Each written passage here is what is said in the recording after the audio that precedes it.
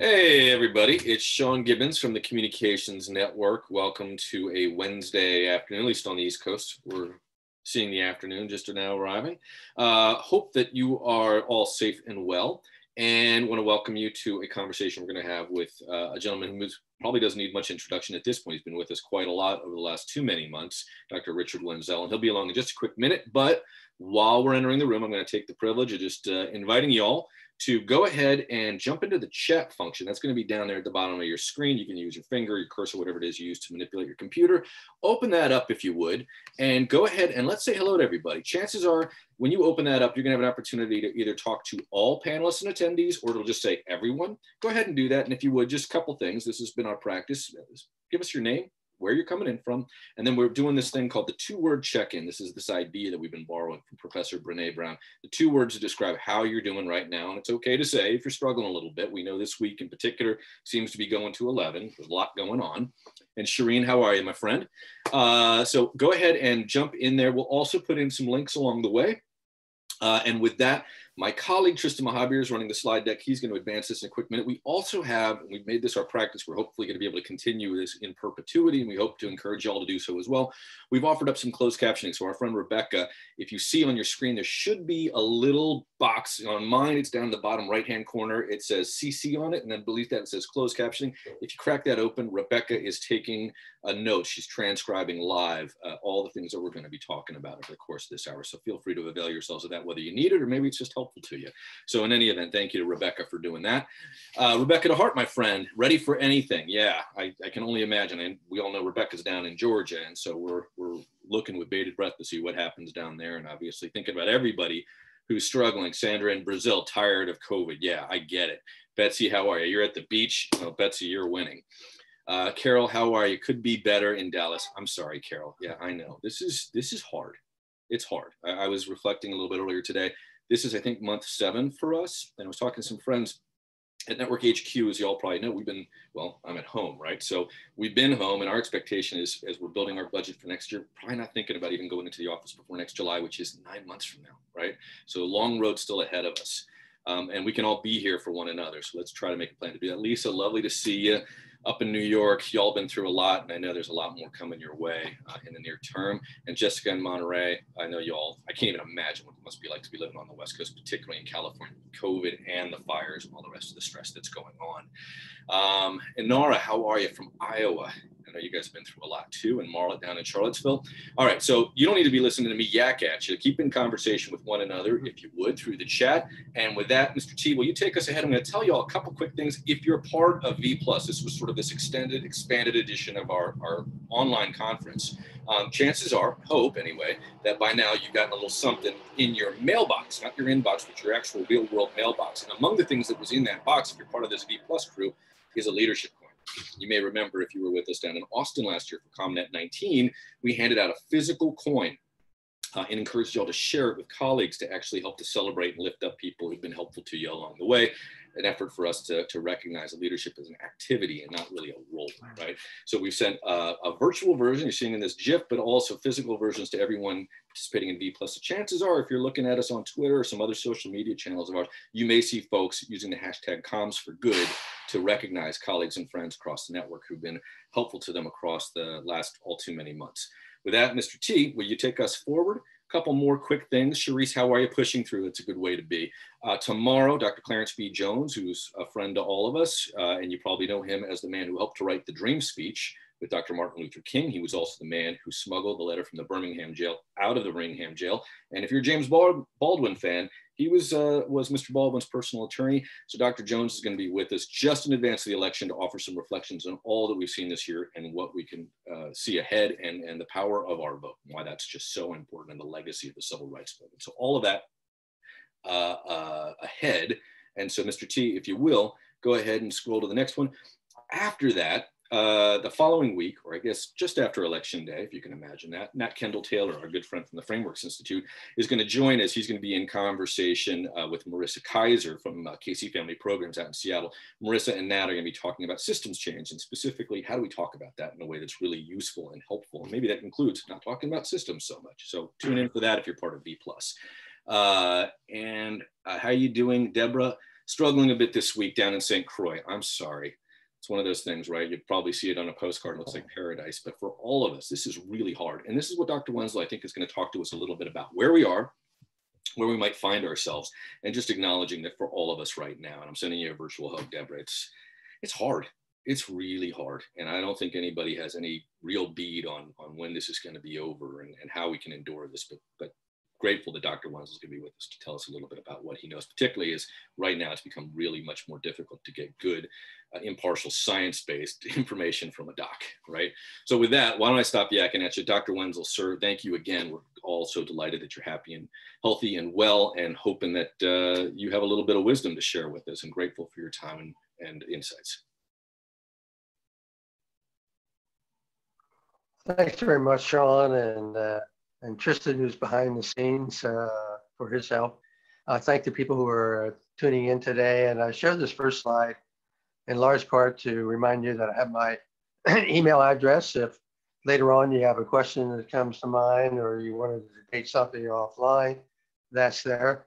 And also to remind me to tell you that if I mention a drug or vaccine, I have no commercial interest, no uh, equity in any product uh, that's a medication or a product device that's used in medicine. So next slide, please.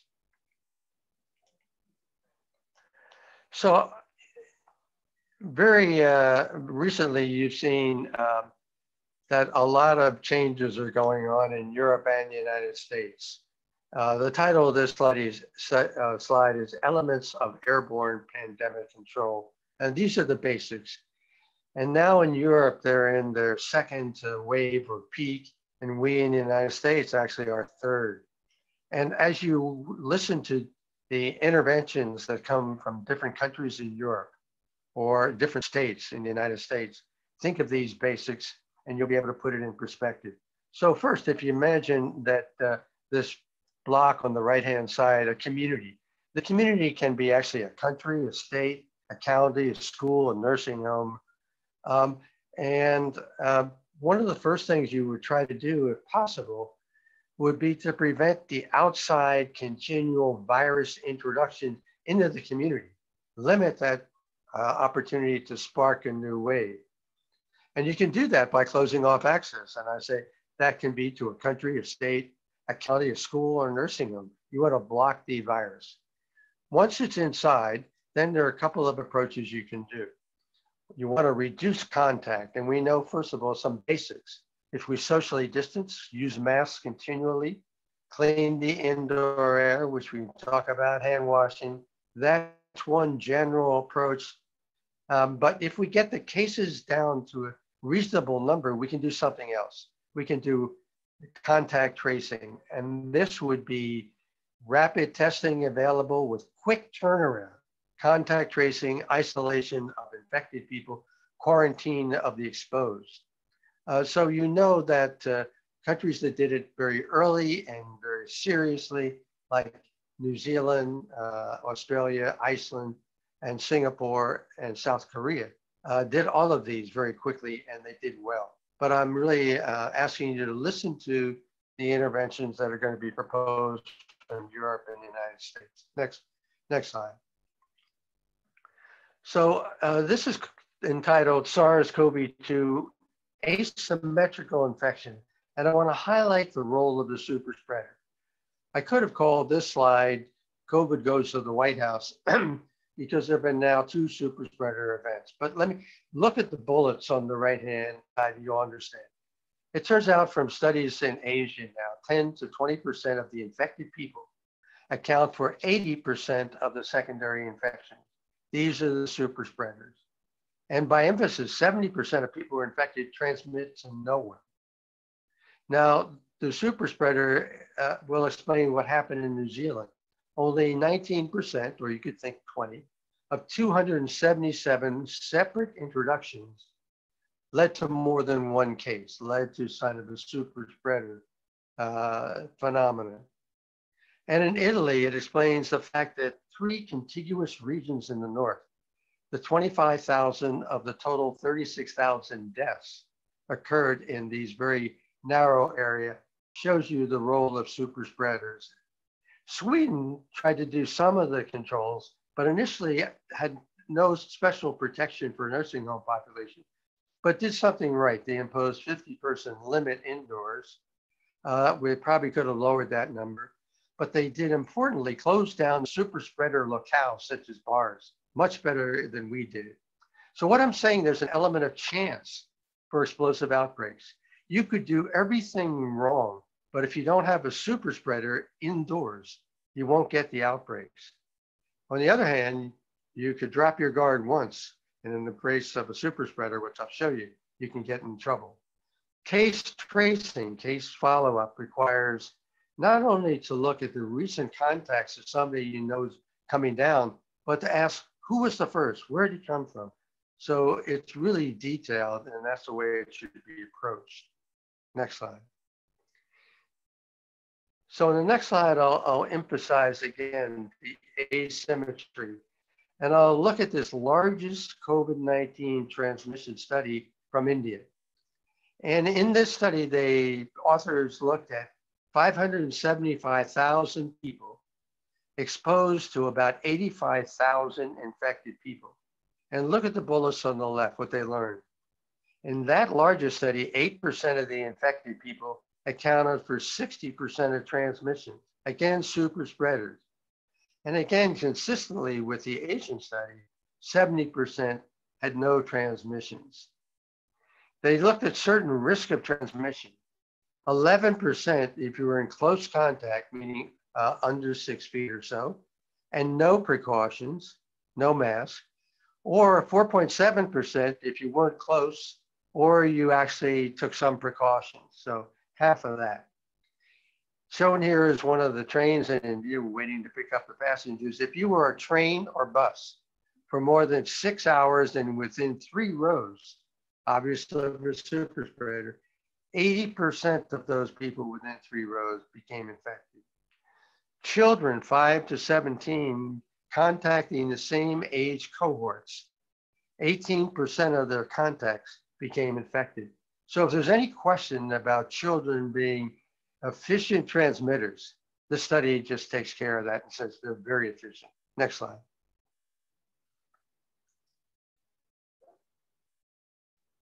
Go ahead with the next. So again, to stay with some of the data in the United States on children with COVID-19, and look at the bullets on the left, people under age 20, and lumped as children, comprise about 500,000 at the time I made the slide, 10% of cases in the country. So they're getting infected, but a much lower rate. As in adults, the children are overrepresented in Black and Latino populations. And a CDC small sample of the people hospitalized. So of the hospitalized, and very few got into hospital, but 33% wound up in the ICU and 6% on vents, similar to uh, adults. What's different is a small proportion get hospitalized. There are 121 deaths in children. 30 were considered quite healthy with no underlying problem. 91 of the 121 had at least one comorbidity and 54 with two or more. In a sample, 38% of children who died were obese. Now I'll come back to obesity later on. And this multi-system inflammatory syndrome, there were 935 cases. And this is the Kawasaki-like syndrome that can cause a disease of the blood vessels of the heart, among other things. And there were 19 deaths. So low risk, uh, but still unfortunate. One of the key theories that investigators of children said that children have fewer ACE2 receptors on the respiratory tract cells, therefore fewer viruses to uh, latch on and create disease or severe disease. On the right, it shows you cumulative changes from May 21st and three months to August 20th. And you see cases in the middle, hospitalization and deaths. And the green line shows the children. And in all the cases, they're above the average for whole, the total population in the United States. So the cases are rising disproportionately the number of hospitalization and deaths as well, though they're certainly lower risk than adults. Next slide.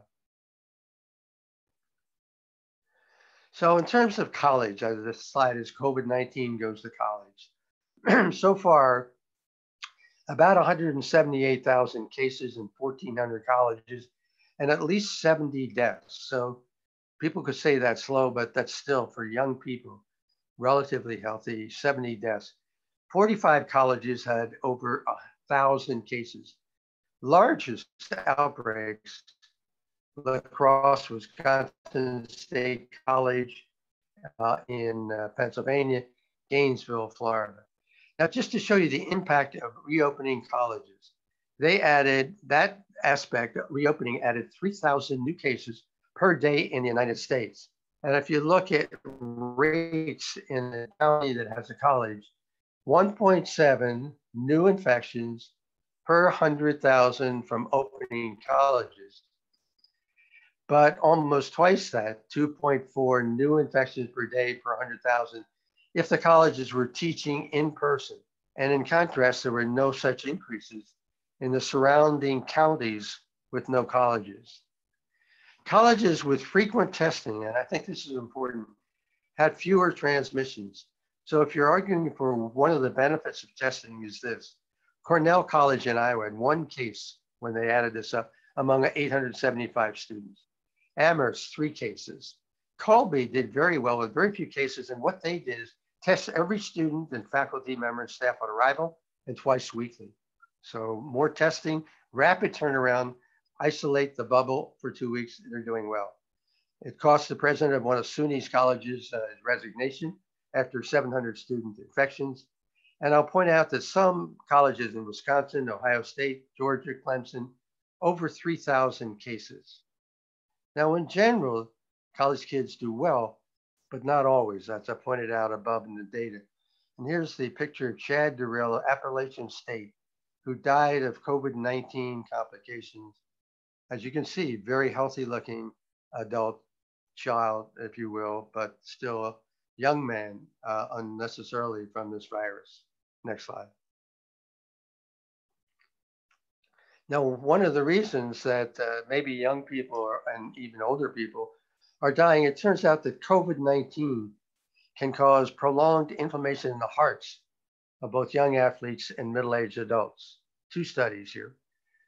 The top on the right 26 college athletes had cardiac MRI, the very sophisticated imaging of their heart after infection. 12 had had mild infection, 14 no symptoms at all. And yet, 15% had inflamed muscle of the heart when they did this, and 31% had evidence of prior muscle injury, despite their benign, if you will, uh, course. Heart injury in a, in 100 German patients recovering from COVID 19. The mean age was 49, so middle age.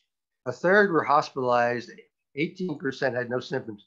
And the MRI of their heart the sophisticated imaging, 78%, 78% had abnormal heart finding, 60% had ongoing inflamed muscle.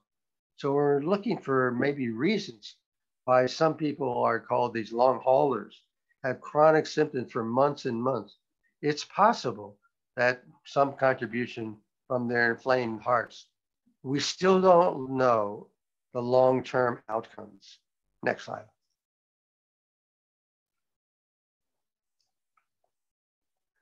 So just bring you up to date with some of the numbers. You've seen these kind of slides before. This is the cumulative confirmed cases of selected countries. And the y-axis, if you will, is in log fashion. And so uh, left to right are so many days after, I think, the first 100 cases to even the playing field. And what you see, what you'd like to see is very low rise and then flatten out, which means there are no new cases. And since it's a log scale, even any kind of inclination means that there are a lot of cases going on. Unfortunately, the United States is number one with total cases and not shown here, but number two, very close to Brazil is India. So US, India, Brazil, then Russia, Mexico, and Spain. If you look to the box on the right, the United States not only has the number one total, but we're seventh highest rate per capita and we've had over 8.7 million cases.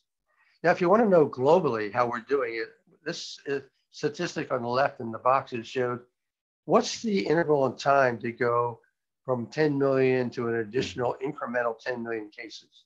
So if you look at the first zero to 10 million, globally, we saw that in 90 days. The next 10 million up to 20 was 44 days. The next uh, from 20 to 30 took only 38 days, and 30 to 40 means only 32 days. So what we're seeing is you'd like to see the numbers go just the opposite. If we're controlling this, then it'll take a longer time to get the numbers high. If we're not controlling this globally, it'll take a shorter time as there are more cases out there for transmission. Next slide, please.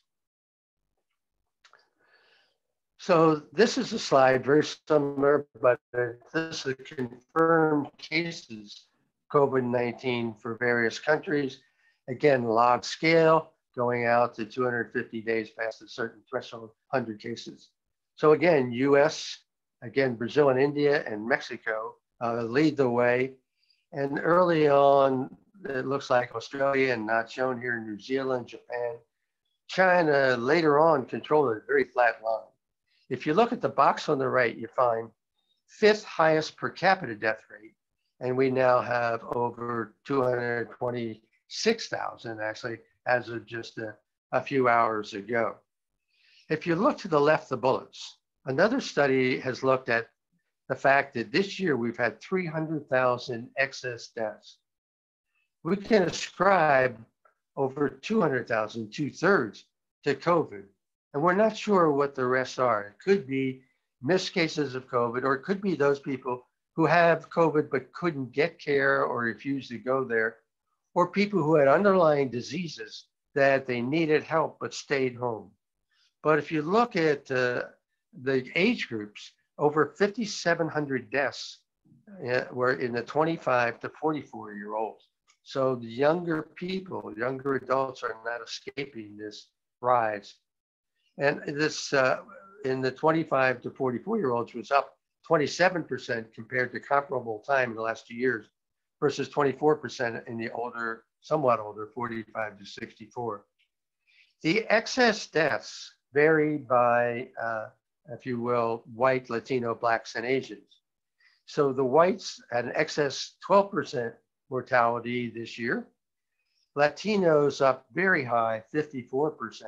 Blacks 33%, and it may surprise you, Asians increase in the number of excess deaths, 37%. But one good thing I can point out is the last bullet.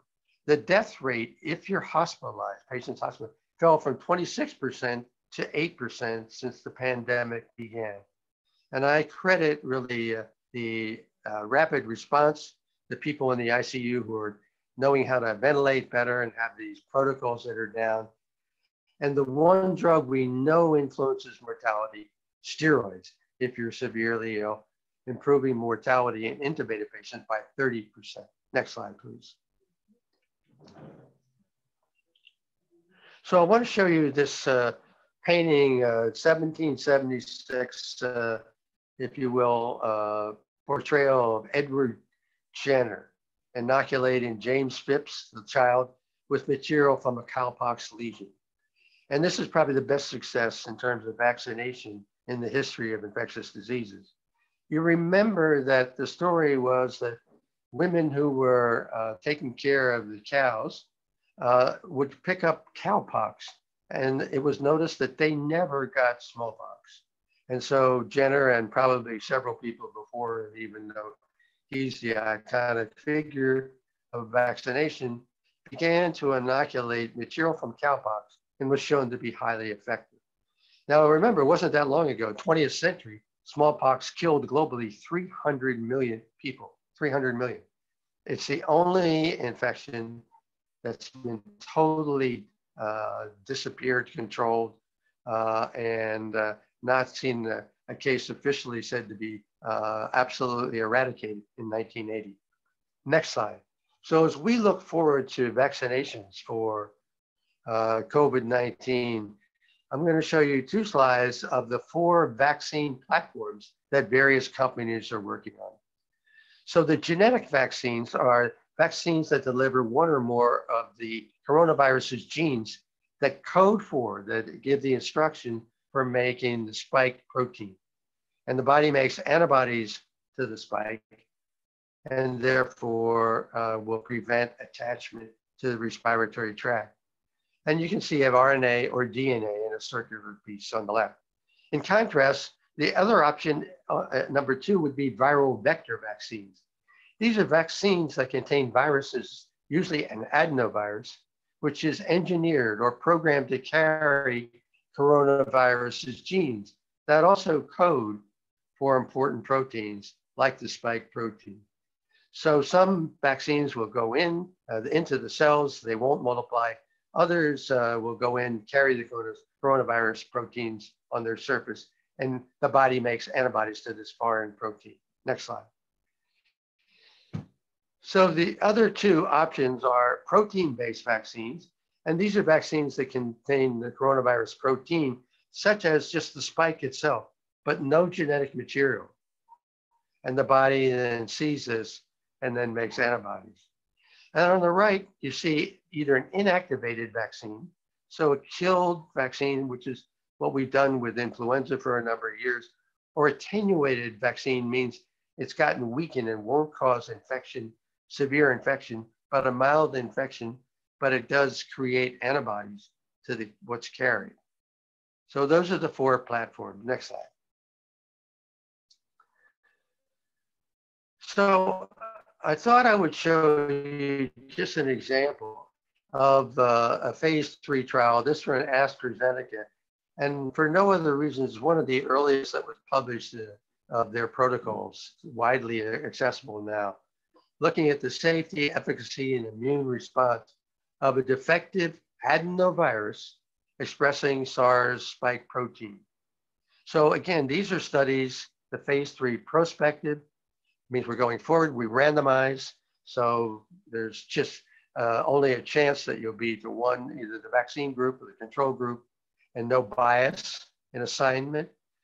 Double blind, so both volunteers and the people evaluating them do not know which person that they're saying did well or poor, were part of the vaccine group or not.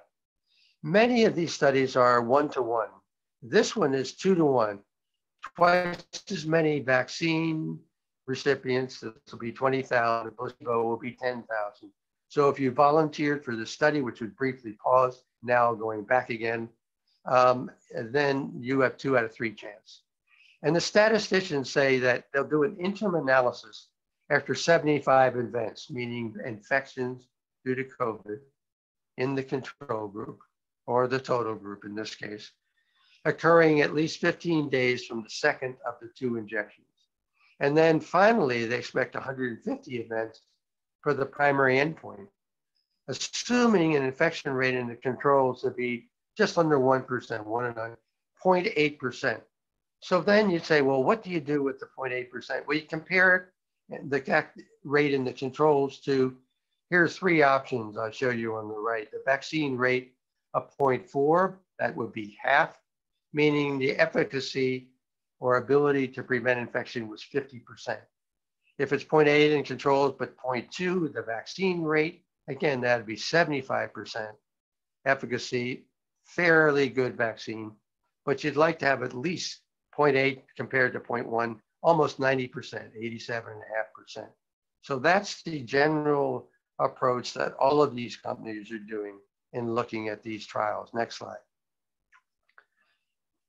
So on the next slide, what it'll show you on the left-hand side is the, I wanted to just show you the vaccine platform, the four platforms, and the names of the companies.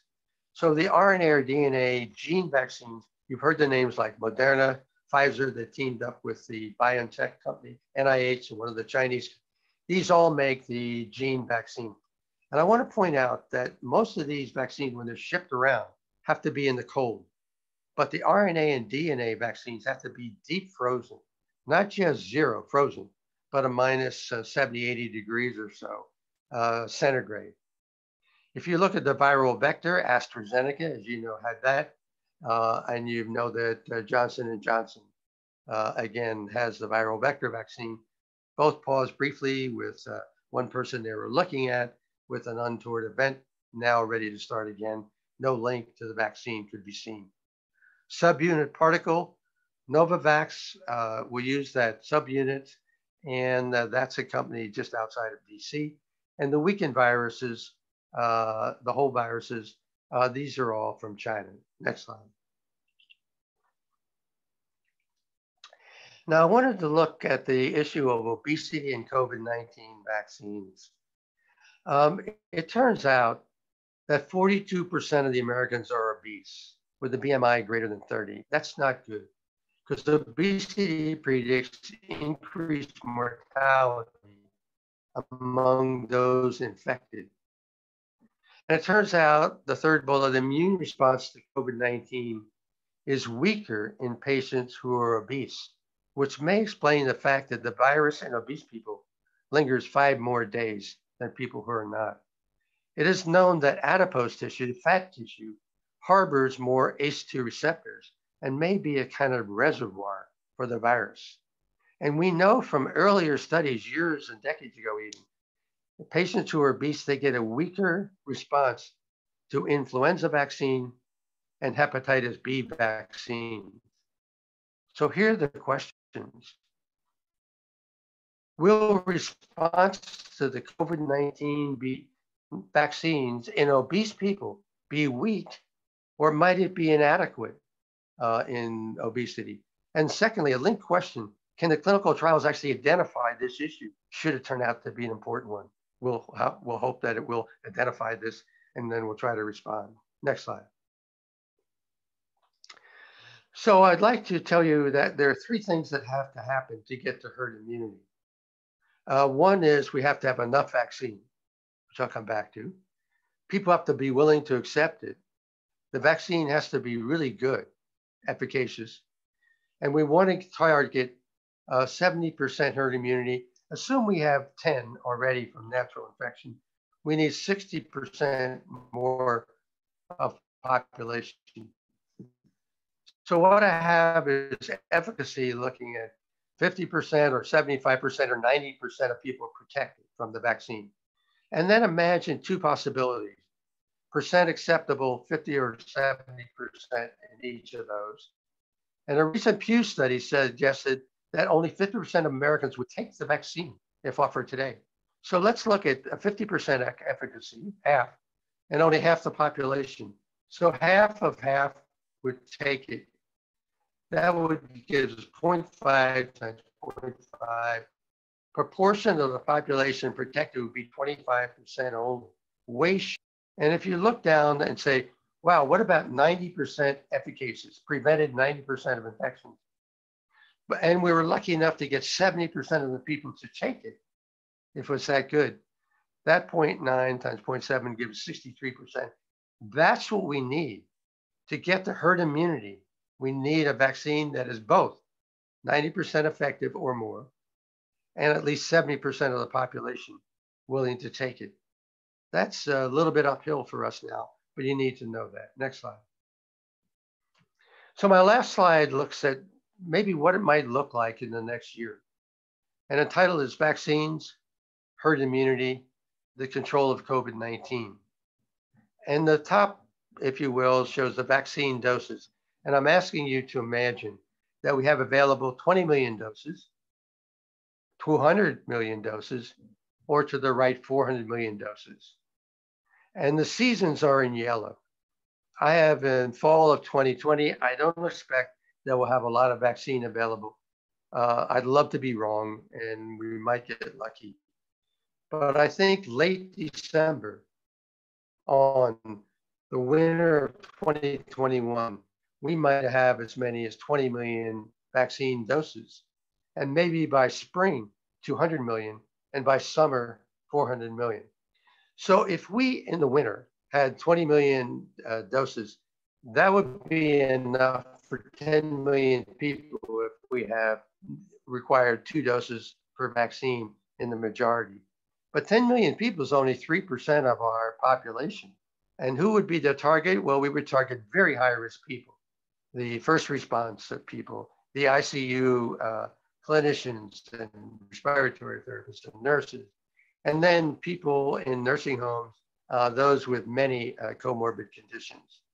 If in the spring of 2021 we had 200 million doses, that would be enough for 100 million people if we're using the two to one, two doses, enough for 33% of the population, still short of herd immunity. And the vaccine target would now be expanded to people with maybe only one or two risk factors. And then if we had by summer, I'm pretty sure, I'm optimistic that we'd have 400 million doses, at least 200 million people would be covered. That would get us 67% immune. And then we can begin to think about immunizing young, healthy people in the summer of 21. Now, the acceptance level I have down there as well. Early adopters, I think, uh, will be an issue uh, maybe by winter. Not everybody, even who needs it, will probably adopt this early. By spring, I hope people are looking back and say, you know, it really looks safe. We've given it to several million people. And hopefully by next summer, much more acceptance of effective vaccines.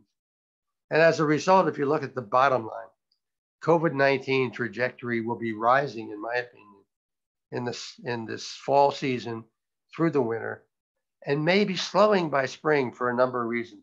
Hopefully, we'll have up to 200 million doses. We'll have people outdoors more than indoors, uh, and uh, whatever else the weather might do to get us away from the dry uh, indoor air. And I'm hoping by the summer 2021, we will be able to say, we've controlled this. I don't expect it to be eliminated, but we'll control it. Next slide, I think just uh, says, I want to thank you very much. I would love to entertain any questions or comments or alternative uh, views. Thanks again, Sean and Tristan. Thank you, Dr. Wenzel. It's tremendously helpful. So I'm going to take the privilege, since I have a microphone, to ask the first question as a parent. Halloween, Saturday, what do you do? What's your best recommendation? Yeah, I, am not a big fan uh, of telling the kids to go out because what you really want to do is have at least six feet of distance. People can wear masks, but real masks, not just the Halloween type mask. Because what happens is people cluster around a house and they wait in line for the candy or the treat, whatever they're giving out. And I think that is a um, safer than indoors, although some, if it's cold weather, sometimes you're invited into our house. But for the most part, just assume it's outdoors. Safer, but as you know from many uh, sort of these gatherings, if you are shoulder to shoulder to people, not everybody has a mask or they're not wearing it properly, and you have a super spreader at that moment. So um, I would hope people would come up with an alternative this year, stay with their nuclear family or the bubble of their friends if they have also behaved as well as you have in terms of admiring. But it's more time for the family, I think, is the way to look at that. I'm very cautious, but that'd be my view. Gotcha. So those bags of candy we have downstairs hidden away apparently are going to become sugar bombs for our little people.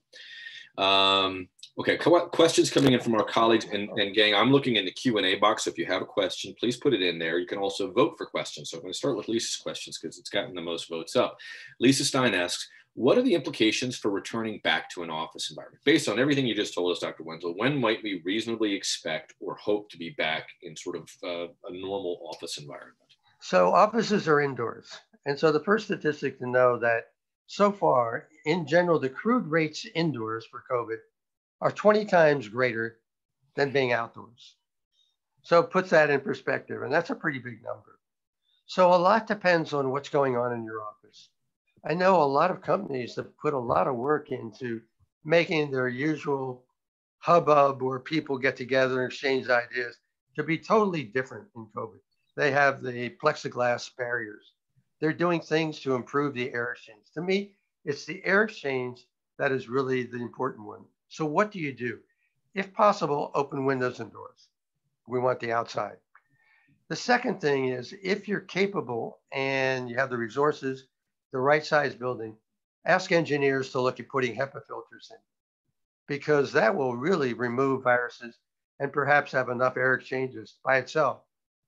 The third thing you can do, and I see people beginning to do this in offices and even in physicians and dental offices, see if you can get somebody who knows how to do this, put in ultraviolet lights, which kill virus very quickly. Now, uh, people have been doing that in microbiology labs for decades. Uh, there are now machines, and I can't say I can point to any clinical trials, that you plug in. And some of them have up to from one to four, even uh, more air exchanges per hour, but they have HEPA filters and they expose the air to UV light. In theory, that should work, but I can't tell you that I have any data. But I know people who are trying to do that if they can't put in the raw UV light itself.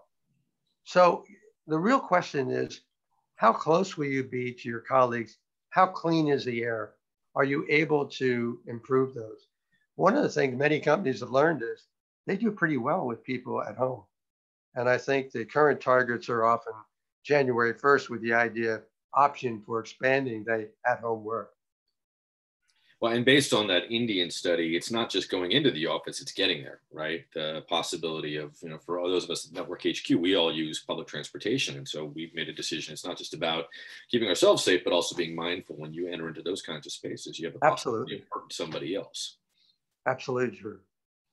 Okay, next question comes from our colleague Theodora, who asks In the current absence of pharmaceutical treatments and vaccines, what is the role of primary prevention to strengthen the immune system? And then following on, why aren't we talking about the role of nutrition, exercise, and alternative medicine and natural remedies as effective and cheap ways to build effective immune responses?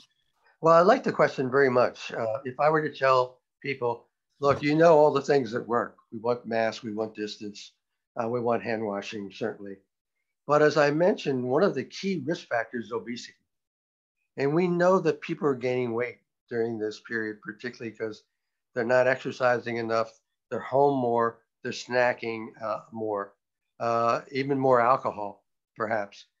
Um, what you don't want to do is become sedentary, and you don't want to uh, uh pick up uh, your BMI at all.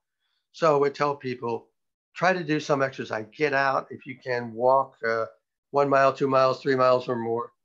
Uh, and uh, if you can, try to watch your diet and, and really stay with uh, the non carbs if possible. Uh, watch your drinking. Um, don't smoke if you were doing that. And I think these are the key things. And I would tell you again get the flu shot. You don't want to be in a crowded office, a crowded emergency room, exchanging droplets with people who have both flu. There are going to be four times the types of flu floating around, not just one and COVID. So these are some of the general things I would say to people. And for what about folks I've noticed just in our own neighborhood, uh, lots of folks out exercising, wonderful and good, but a real shift in the number of folks wearing masks while they're out and about. Is that necessary? Is that are people? I, I, that probably reflects a little bit of anxiety, I would think, on people's parts. Or is that just a good practice now? When you go outside, put on that mask, keep it on. Yeah, I don't think if you're if you're not going to be in crowds, you probably don't need your uh, uh, mask. And again, we know from uh, dynamic studies of droplets that if you're walking side by side to somebody and you're six feet away or so, uh, you're very uh, good shape. If you're behind somebody and fewer than six feet, those droplets of that person can move back. So go on a diagonal or go parallel to the person you're either jogging with or walking with or riding a bike with. And the faster you're moving, the farther back you should be from the person up front. So I think given all that, um, most people don't need masks. Um, if somehow you're going to go and jog somewhere and then get close to where there's a big crowd, uh, put it in your pocket, bring it out for any kind of gathering. Uh, but I don't think you need it in general. Got it. Got it. Our next question comes from Abigail, we have a lot of questions, so I hope you're able to indulge us with a little bit of time. Uh, Abigail asks, do we know why the rate of infection in children has grown so much? And, and parenthetically, she adds, I would assume it would be because of school attendance, but May through August is primarily summer vacation. Is it because people assumed for too long that children weren't at risk? Yeah, I don't know for sure the answer, but I think that it's a combination of all of the above. Uh, in the beginning, it was primarily older patients and it clustered primarily in nursing homes, uh, particularly in the New York area. Um, and the children were, if you will, cloistered away from that particular cohort of older patients for the most part. Um, and then as the summer came along and we relaxed, and then as school came back, I think the gathering, and we're recognizing, as I showed you the data, that it's a very efficiently transmitted from child to child. And remember, these are social uh, butterflies that really like to get together whenever they can. And I can't blame them. It's been rough on kids. Um, so I think it's all of the above so far uh, that have increased uh, the use of maybe even the, the non-use initially of masks for young children as well. And any advice for parents out there, given the fact that many children are now in Zoom school situations, looking for outlets, looking for socialization, is going and playing soccer or or doing a backyard play date with masks safe and and and uh, something you recommend? Well, I, again, what you want is distance and uh, and uh, protection from droplets. So if you can work that out, uh, you know, the, some sports are fine for that. I wouldn't put football uh, in that that group because you know you're and we've already shown that that doesn't work a lot of times with the pro ball and the college football. Uh, but if you are a track star, and you like to run, to me that would be ideal. Tennis probably fine. Just don't meet at the net. Uh, and I think if you can do those sports that will keep distance, and then if you need the mask, then the mask uh, whenever you're up close. Uh, but I think you really have to be careful and this is a problem, the long haul that we need. Our target for me is going to be late spring, early summer. Um, we're not used to this kind of marathon, but hang in there. You drop your guard, this virus can move in.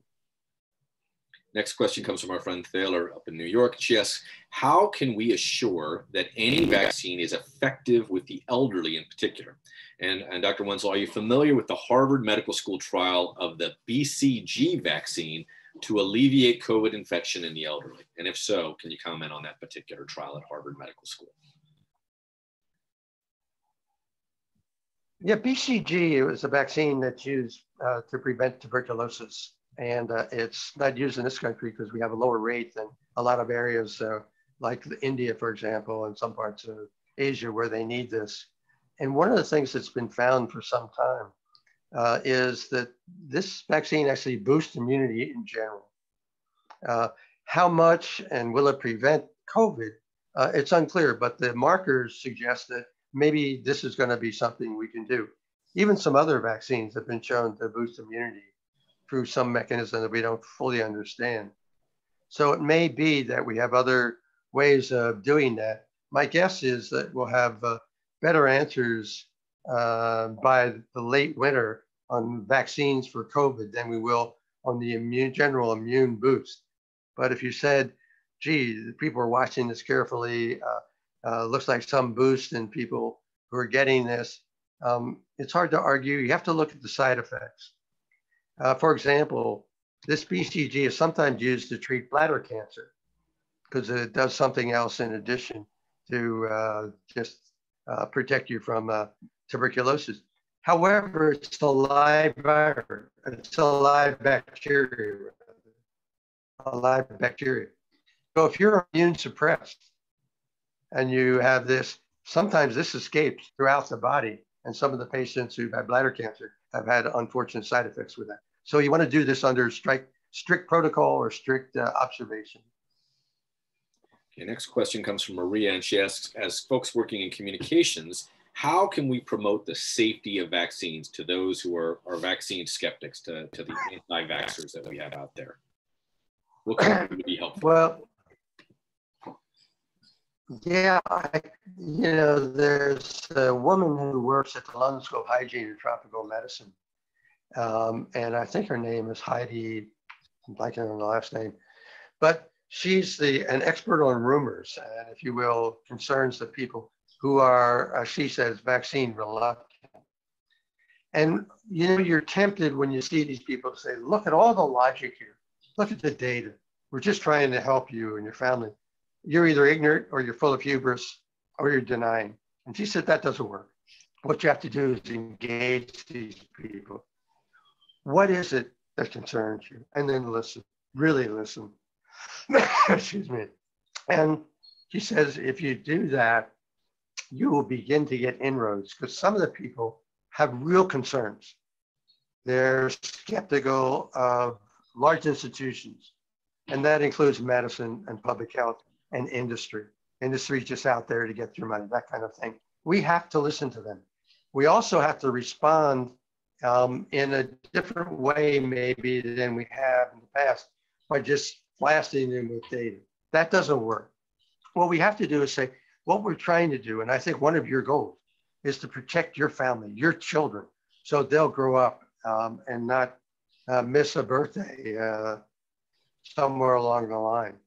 And we have, I, I'm not saying get overly dramatic or emotional, but get to some of the key things that we all agree on.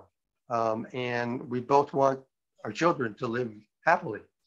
Uh, we have to approach that uh, even though we're kind of on the vaccine side of very much. This is a different group. So listen and engage. Mark has a question. He says, once multiple vaccines are available, will there be a way for the public to evaluate which vaccine is most effective? How will we know, you know, Johnson and Johnson versus Moderna? Sorry if I'm messing these up, but, but how can we make a good decision for our families? That's going to be difficult. And what you have to do is look very uh, specifically at uh, the effectiveness let's assume they're all 90%. That would be wonderful. Um, how many doses? You know, maybe only one dose, Johnson Johnson, maybe two with everything else. Does that help? Because then you wouldn't have, because people may not remember which vaccine they got. And they show up again for the second shot and say, well, which one did you get of the several? And then look at the uh, adverse effects. And then there may be subset analyses in some that are better. For example, it may be the one vaccine did better in obese patients. Another vaccine did better, better in patients over 65. And I'd be looking for these subsets that might give me some guidance. I'm going to look first for safety and then efficacy, and then the profile of adverse effects and the profile of advantages. And that's the best we can do because I'm pretty sure that no one's going to compare one vaccine to another, see uh, how we do with that hopefully they'd be uh, equally efficacious. But these are some of the things you might look at. Next question comes from our friend Lisa up in Alaska, and she asks, and this is something I'm certainly curious about. What are the characteristics that make someone a super spreader? Is there is there anything in particular you can sort of walk into a room and go, that person's probably a super spreader? Is there any indications or anything we know about what makes some person more likely to pass this virus on? Yeah, I wish I knew the answer to that. I mean, if if they all had uh, purple hair, it would be wonderful because then we could target that group. And you know what we would need for herd immunity would be that 10% plus, which a little bit more. We, we may just get to uh, herd immunity that way, but we don't know who they are. My current thinking for the time being is they're able to disseminate large droplets to a greater extent, maybe going beyond six feet, maybe going 15 feet, and maybe even aerosols more efficiently. So it stays in the air for two hours, three hours, whereas most people of a small number of aerosolization, or uh, maybe they don't hang around as long. So I think it has something to do with droplets. That's my current thinking, hypothesis only. Gotcha. Uh, I'm going to put you on the spot real quick, and then we'll get back to some of the other questions. You are an at-large editor at the New England Journal of Medicine, and they recently came out with an op-ed. It was a first in their history. Any comments or thoughts on that uh, with regard to the election? Yeah, well, uh, in full uh, disclosure, um, I'm a co-author as uh, one of the editors of the New England Journal.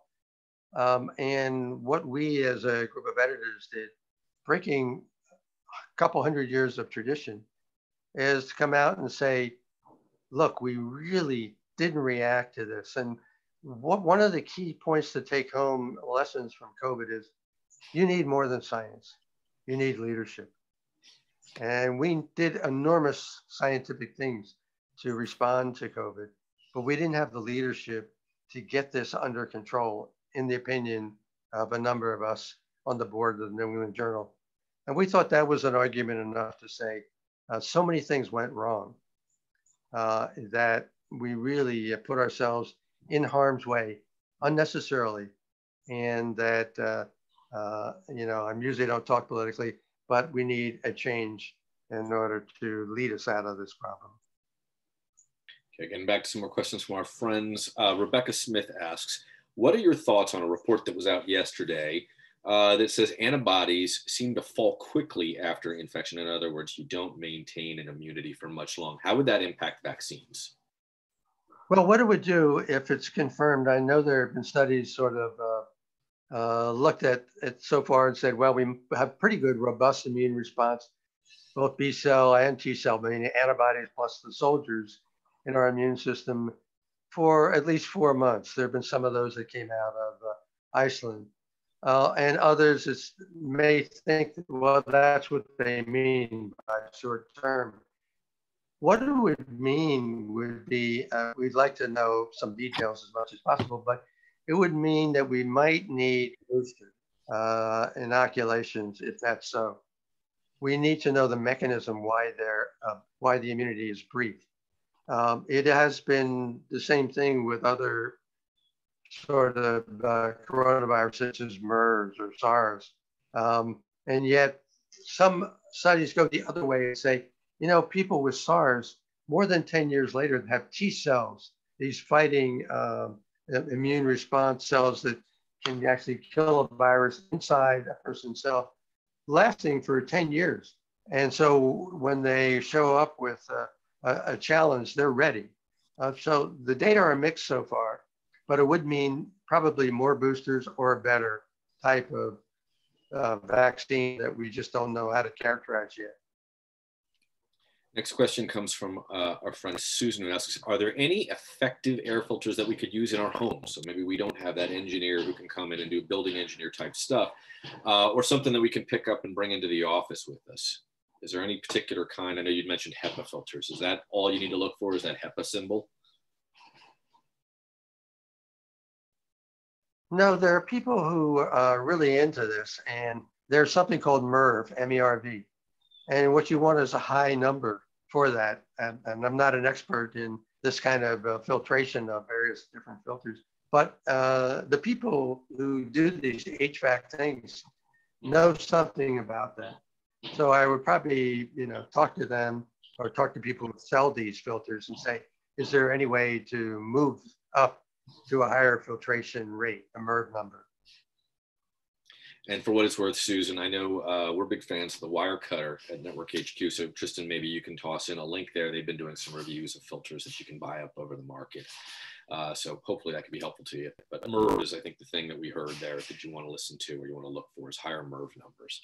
Uh, Phil asked a question. Most of the countries, and this is looking back into the presentation, on the chart of large metropolitan areas of 15 to 20 million people. Um, are there cases concentrated in cities or are they spread throughout countries? So for instance, in the United States, we can look at a map now and see that it appears that the virus is now pretty much everywhere. It's not just centered in cities the way it was when it was maybe starting in Seattle and New York City and then moving on from there.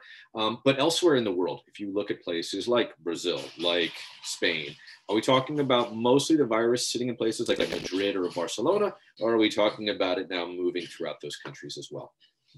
Yeah, just to put it in context of my first slide, uh, this virus came airborne, truly airborne, in an airplane uh, from China, both to New York uh, before we recognized it, and coming the other way to Seattle, LA, San Francisco. So they're the introductions. And then you're into a big metropolitan area. And before you know it, you have 10,000 infections, is what happened in New York City. And New York, it also came from Europe. So it went from China to Europe and then to the United States where it spread very well. So the introductions are usually in large metropolitan areas brought in by where the ship arrives or where the plane arrives. Then it hits that really dense population and the vulnerable. So uh, a lot of both West Coast and East Coast was the nursing home. 40% of infections, in fact, began there. But this virus is equal opportunity. And so then it started to spread south. And we found out, well, for a lot of reasons, younger people were getting it fortunately not dying at the same rate. What we have now, as this virus has moved to uh, the north central part of the country and northwest, again, the, the mountain areas, the actual rates, per capita rates in rural areas now exceed the per capita rates in the metropolitan areas. Um, so again, uh, any opening at all, this virus will try to hitch on a ride. And, and so our friend Lisa, who's in Alaska, just wrote into the chat and, and said there is widespread virus in small, isolated Alaska villages off the road system right now, despite testings at their hub airport. So presumably people coming into Anchorage or elsewhere, they're getting tested and still it's finding a way. Yeah, we would say even in our own Navajo population out west where we saw this, once it got in, uh, vulnerable people, many of them are diabetic, some are obese, uh, they're crowded conditions, they don't have as much access, but amazing job of case uh, tracing uh, that they did in those uh, Navajo villages. Okay, next question is to someone who comes in anonymous, but uh, has a little bit reason to worry maybe. Uh, how far can droplets spread outside? And they say, my balcony, so they're in an apartment, is only a couple of inches from my neighbor's balcony with a small wooden fence. Um, we all are now spending a lot of time outside on our balconies. Should I be worried about droplets on the balcony? This past weekend, they had a, a Halloween party with maybe 25 people who traveled in for it and it was inside. But, but do you recommend if you're if you have a balcony that's adjacent to somebody or you're living in a situation where you don't have a lot of private personal space that you avoid those spaces? Well the only analogies initially would be uh, people who've looked at runners and joggers and bicyclists. And again what i said if you're behind somebody and you're walking probably 10 feet is fine. If you're directly behind and you're jogging you may want to move that out to 15 and if you're biking you want to move out to 20 25 feet because those droplets in studies where they've looked at droplets using lasers uh, say that can happen. We also know that large droplets can travel, you know, uh, beyond six feet, maybe occasionally up to 15 or 20 feet. Uh, droplet, uh, the aerosols just follow the wind current. So being outside is good. First of all, your 120th risk of being indoors. And for a lot of reasons, one, you get the dilution of the air and the UV lights if you're uh, during the day with the sun out. Both very effective.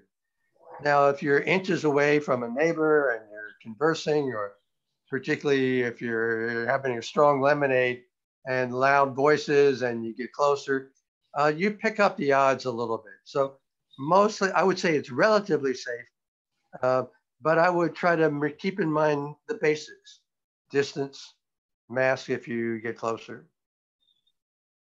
Uh, Lauren asked a question for us. Have you heard any more data? We talked about this a little bit earlier uh, regarding pregnant women and the outcome of pregnancies and COVID 19. Uh, I haven't heard much more.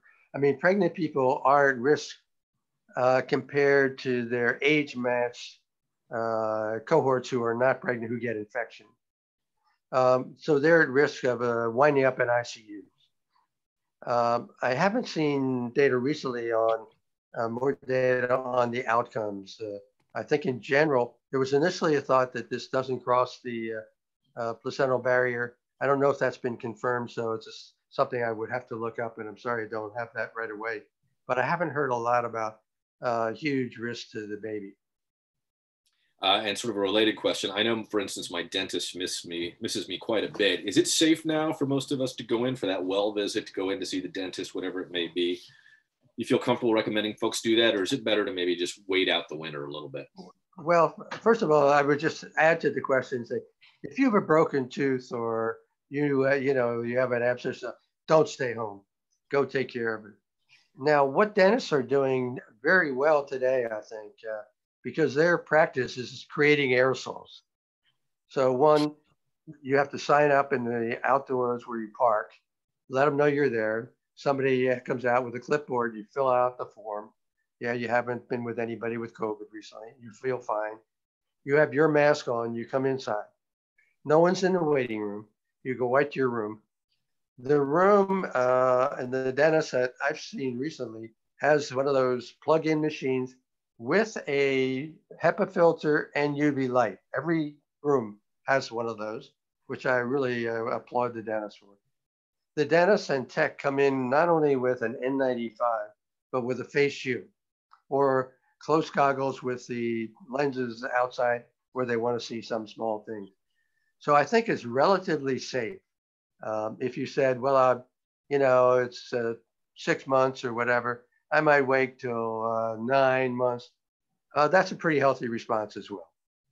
Gotcha. So maybe if you if you if you check in with the dentist, what kind of measures they've taken, and then if it's a cleaning, you know, maybe floss a little bit more and and and, and wait a little bit if you can. That's right. Our next question comes from our friend Kim. She says, "Any insights on blood type and susceptibility?" She read something about people with the O blood type might be less susceptible uh, or have less severe symptoms. Is there any truth to that? Should we all be just checking the last time we gave blood? I think I'm A negative. Am I in the clear? No, it turns out to be true. Uh, I have A, uh, and we're more susceptible if you have blood group A. Oh, goody. But the difference clinically is very, very small. So um, even though if you look at a million people, you can get a p-value to do anything statistically, but um, it's not clinically uh, going to be a big deal. So I'd stop worrying about it. Gotcha. So next question comes from our friend Suzanne, who I think is down in your neck of the woods. She's just over in Williamsburg, if I'm not mistaken. And she says, I am not, all caps, not a vaccine skeptic. And I've had my flu shot. Good for you, Suzanne. I have too. Um, but I am concerned about getting accurate information about the safety of vaccines when they become available.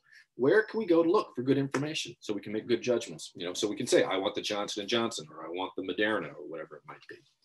Well, uh, our first hope is that the companies will not tell us anything before we see the data. Uh, I don't want anybody to prejudice uh, my thinking. And they would do well uh, and gain more respect and more trust if they keep away until the independent body review, both at the FDA and maybe even somewhere else, do this. So, first, we want the company to hold back. We want the FDA to assure us that they're not under any political pressure to approve a vaccine before it's uh, really been reviewed. I think the independent reviews have been, you know, generally over decades excellent uh, at the FDA. Uh, and I think they're under more pressure to make sure that people don't lose trust in the FDA. And I think the director feels that uh, very much personally these days because of some missteps earlier. So I would be looking at the uh, independent body uh, that critiques the FDA uh, industry presentation uh, when they do this uh, in the Washington area. Thereafter, you want to listen to people like Tony Fauci, for example, um, and experts around the country who said, look, I've reviewed the FDA panel and what they've said about this vaccine. And uh, here's my conclusion. So I think there are people out there who do well. There's some journals that you know, you might imagine like Nature and Science and New England Journal that might comment on these as well. So I would look for those type of uh, uh, perspectives, if you will, scientific. So is I it, think the things we can do. Is there is it your, your your belief or your expectation that your colleagues at New England Journal of Medicine that you all will weigh in at some point when you have some data to look at? Yeah, I mean, if we had data, there's no question. Uh, uh, this is such an important thing. I can't imagine that there wouldn't be at least an editorial by, it wouldn't have to be anybody on the board, but by an expert who's really followed this. But to put it in perspective, here are the strengths of this study or the vaccine, here are the weaknesses here. Or if we have two of them in the New England let's look at the strengths and weaknesses. Can we infer anything about the differences? Maybe, maybe not. So for many of us, we've started to suddenly go and onto the internet and look at things like the Lancet and a lot of things that docs have been looking at for years. Uh, but obviously, you have that mindset of it's got to be a clinical uh, trial, and that ideally there's a certain process that we all go through to get those, or, or that that things go through to get approval. Anything to guard against, anything to sort of be worried about misinformation, folks going ahead and trying to self-educate, but maybe accidentally making a mistake. Places to avoid on the internet, I guess is the question. Well, um, you know, you really want to follow the science. Um, and if you are into conspiracy theories, you can certainly get into trouble. Um, you don't want to get some vaccine that maybe another country's had that really they haven't gone through the rigors that we have, uh, but you have a friend who can get you some. Uh, you know, those are unlikely things I would hope today. Um, if you stay with the science, stay with the expertise, um, we really need industry and the government to, to be apolitical and not be driven by profit. driven by doing the right thing. Next question comes from our friend Katie, and she asks, uh, Dr. Wenzel, your honest opinion or thoughts, is it safe to go to the gym with a mask on? Um, they have implemented distancing and they have some air filters. And realistically, when do you think we might be able to get to visit a gym and feel safe without a mask? Uh, or go to a conference or any other sort of large gathering, see a concert, go to a Broadway, which we know is now closed until I think after Memorial Day, if I'm not mistaken. So um, the issues with gym, first of all, you're indoors. Remember the rate, 20 times greater than outdoors. The larger the gym, you might feel a little better with their changes. but remember, you know, I miss the gym and, and I've been trying to do my own thing at home. But so, but you're, these people are lifting big weights and you hear this grunting. Uh, and all I can imagine is a large number of droplets coming out of there large and small. Large ones going well beyond six feet. The small ones hanging around in the air for two to three hours. And so the person could actually leave who'd been weightlifting and grunting and groaning. Uh, and I come in an hour later and I could still inhale that. So I don't recommend going to the gym. Uh, um, be blunt about that. Uh, doesn't not everybody in the family agrees with me, um, but I just think it's an indoor it's a droplet. Um, they aren't, you know, if the gym started putting UV light in, I feel better. HEPA filters, I feel better. If they could leave the windows open, I feel better. If they could set all the stuff outdoors, that'd be a different story. But again, a gym is one of those indoor gatherings of people, even though they're six feet apart, and there's no magic about six feet, and you can't control the aerosols that are there for hours. Yeah, I think one of the things we've discovered as a family is that there's a bunch of gyms out there just in nature. We were fortunate where we live, there's lots of hills. And so suddenly that Stairmaster has become running up and down the hill a dozen times, which is not a lot of fun. And it's an ugly picture by my fifth trip up the hill, but it certainly does get a sweat up. Um, next question comes from our, uh, our friend Phil, and he's asking, I think this is just a math question as much as anything. He says, with a population in the United States that's less than 400 million people, how is it that if we have 400 million doses of the, of the vaccine, potentially, or that we would need 400 million doses of vaccine to cover uh, the population? Well, what I was trying to point out is most of the vaccine, not all of them, require two doses. That's the way they've been studied. So generally the first dose and then three or four weeks later, the second dose. And you have to remember which one you got, of course, because you can't mix and match. Um, and so if we have roughly 300 million people, a little bit more, 330, and I use 300 just to make the math easy, we would need, uh, you know, um, 600 million doses to get the entire population. But for herd immunity, we need enough for 200 million people or 400 million doses. Um, if the J&J vaccine requires only one dose, that'll change the math a little bit and make it a little bit easier that we don't have to have those high numbers. Um, but I was mostly just looking at the probability of more likely two vaccine doses. But we'll see. And, and given what you said that some of these vaccines are awfully hard to transport, do you think it's going to be a real challenge getting distribution out there? For instance, excuse me, uh, I got a, a, flu vaccine at the CVS. Just walked in and the pharmacist grabbed a vial and gave me a dose. Easy peasy.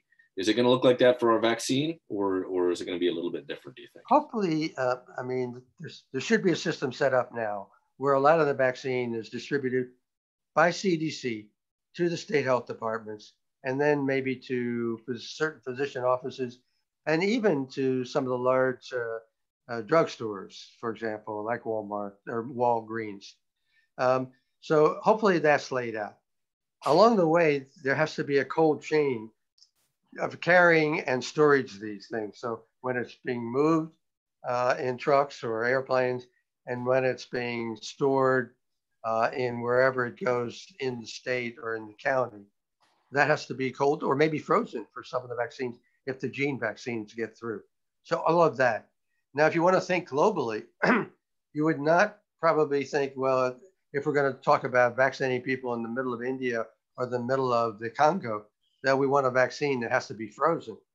So we would probably modify the approach uh, globally, depending on the ability of each of the continents, if you will, or, or the countries within each of the continent to be able to keep the vaccine stable through coldness or through delivery time, not getting wet, so forth. Uh, last question is going to go to Betsy, and her question is, and maybe this has an application for next week as well. How would you handle Thanksgiving and some of the other big holiday events that are coming up our way? And maybe that could even include going out to vote on election day next Tuesday. Um, what's your best recommendation? What should we do about Thanksgiving, Christmas, Hanukkah, and, and even just going out to vote in person? it's really tough because uh, we miss uh, not only seeing the people in many cases, but hugging them, even if you've seen them. And a lot of us, you know, just haven't hugged our children or parents uh, for quite some time, or sibs. but again, uh, I would, I'm on going to err on the side of caution, I think, and maybe my conservative view that we really should try to think this through. Uh, I can imagine a, vac- a Thanksgiving or, if you will, where you're outdoors and you can handle it because it's warm enough or because you created warmth. Uh, no sides. People walk two blocks because that's when these close friends or the relatives live. And you're just going to have your meal, wave to each other six feet apart, mask on when you're not uh, eating and drinking, and then you're going to go home. The alternative is your relatives are flying in for a three night stay at your house. They have two uh, airline trips. Uh, a couple people coming into the house are diabetic or obese or have heart disease. Uh, one of them is on immune suppressants for rheumatoid arthritis. And we're going to be indoors for three days. That's the other extreme. That one's easy, you know, and the first one's easy, but it's the in between that we wrestle with. And I would tell people if you can make it very simple and safe and distance and mass, you might be able to do that. But I wouldn't be, um, I, I would try to be more cautious this year through the holidays. We may not be able to do the Thanksgiving, and I know I won't be able to, that we uh, tend to enjoy for many, many years or decades even. Uh, and I wish it were not so, but I think we have to face the reality. This is an unforgiving virus.